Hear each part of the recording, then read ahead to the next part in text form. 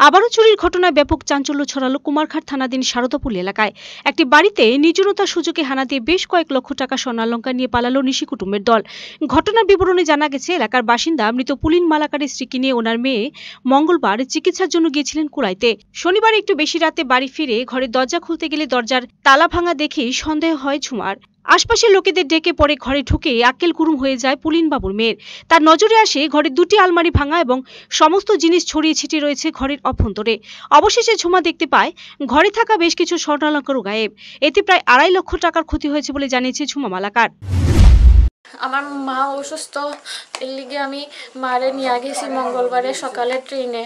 কোলাই doctor দেখালির লেগে। দেন ওইখানেই রয়ে গেছি। আমি কোলাই হসপিটালে স্টাফ নার্সের জব করি। তো আমার ডিউটির টাইম পাইছি না দেখে আমি বাড়িতে আইতে পারছি না। তো আমি আজকে আইছি বাড়িতে। বাড়িতে আইয়া দেখি গেট তালা গ্রিল লাগানো, কিন্তু দরজা খোলা। তারপর দেখা সে আমি আর ঘরে ঢুকছি না। আমি পাশের বাড়ি কাকুরে ডাক দিছি, দাদারে ডাক দিছি। তারপরে তারা আইসে, আয়া দেখে আমিও দেখছি। সব এলো মেলো রয়েছে সুকেশে সুকেশ ভাঙা আলমারির দরজাও ভাঙা, সব ছিত্রানো, আমার কোনো গোল্ড নাই, সব শেষ। আমি অনেক কষ্ট করিয়া বাবু নাই আমার, এর লিগে আমি গো, একটু একটু করিয়া গোল্ড বানাইছিলাম। বাট এখানে বাবার স্মৃতি কিছু নাই, কোনো গোল্ড নাই। অন্যদিকে ঘটনা নিয়ে বিস্তারিত জানিয়েছেন স্থানীয়রাও। তারা অভিযোগ তুলেছেন কুমারঘাট থানার পুলিশের ভূমিকা নিয়ে।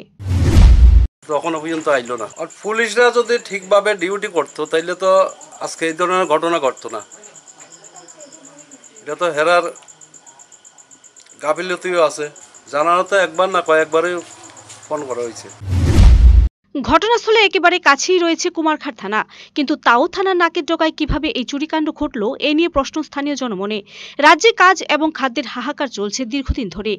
কাজের অভাবে অর্থ সংকটে পড়ে অনেকেই এই চুরির অবৈধ পথে নামছেন বলে অভিযোগ। Bureau report, search India, TNN.